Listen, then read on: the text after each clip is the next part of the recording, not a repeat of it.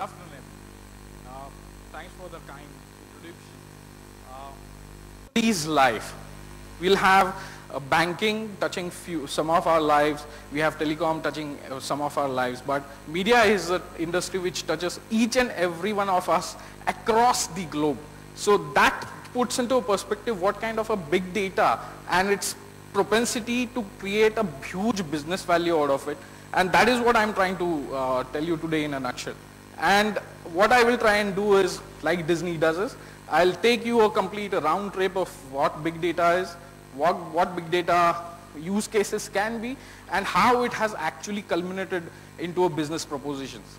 Some of the content which I'm going to uh, put, to, put across, you may feel it is more theoretical.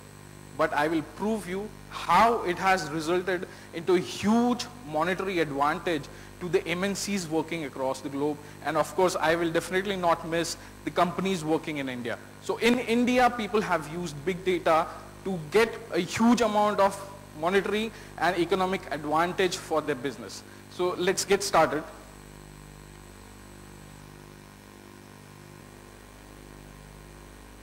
Yeah, so we have the slide.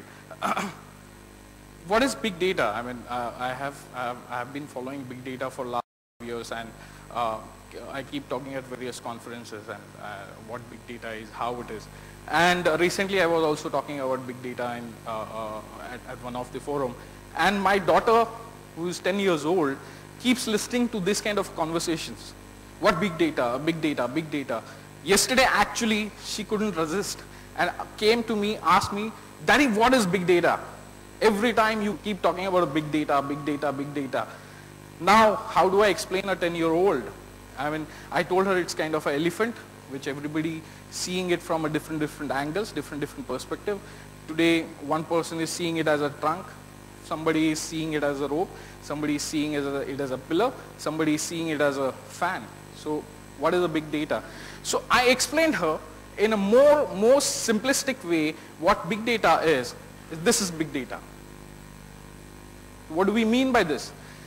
We had a child introduced in our family uh, recently and I told her exactly what happened on the day one of our child, that is what is big data.